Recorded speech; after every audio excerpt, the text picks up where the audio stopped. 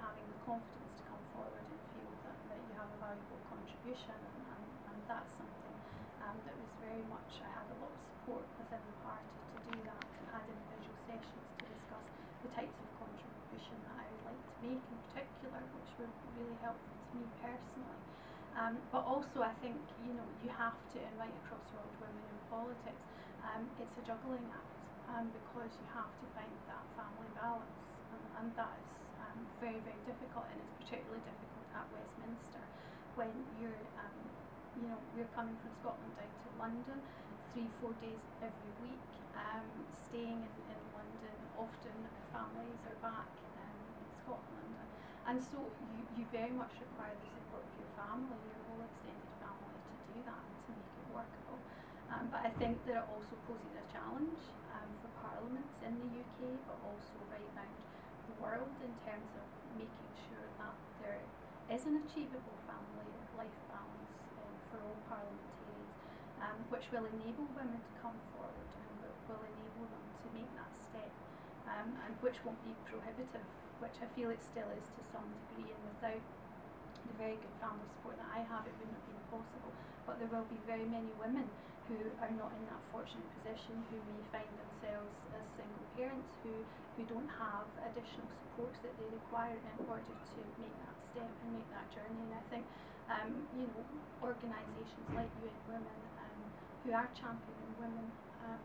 really we need to, to look at the parliamentary structures and make sure that they are friendly um, for women, for families, and for people from all walks of society.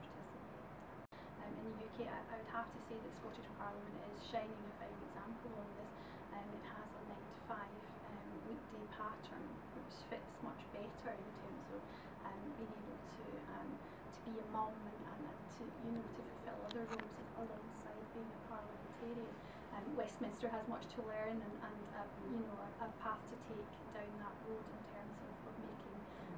that feasible. I think it's perhaps more difficult to be fair in some degrees because people are coming from a much wider distance in order in order to serve at Westminster. Um, so yes, um, maternity leave structures I think are another issue in terms of Parliament, in terms of things that we must make sure are effective that when women come into Parliament, they, you know, there are structures that they can have time off um, to, to be a mother, to, to, to have children, and can come back with no detriment in terms of their career as well. So I think we do have um, we do have a long journey to make. Um, I think it's incumbent on um, women politicians right around the world to make sure that when they do reach, um, you know, the, the goal of becoming an MP or a parliamentarian, that they put the ladder down for other women to come up that ladder and very much firmly trying to use their position to ensure um, that um, equality right to the top end of government is achievable.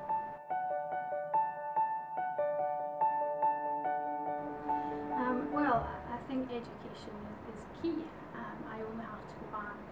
in my own family probably three generations when um, you know my grandmother left school at 14 and was expected to work for a few years before she was married and then um, you know not to work any longer and, and so we've made that journey in the UK over a number of generations but other countries right around the world are still making that journey in terms of um, making sure education is available for girls just back from Nigeria from northern Nigeria with the International Development Select Committee. And all too many girls are not in education in some places around the world um, or culturally and they're prohibited from playing their full role and seeing their potential um, realised um, which I think you know is key to ensuring just as it was in my family that the women as well as the men were able to progress and achieve their full potential um, and I think that we've made that journey we have to support countries internationally upon that journey um, in order that that can be realised right across the world for women.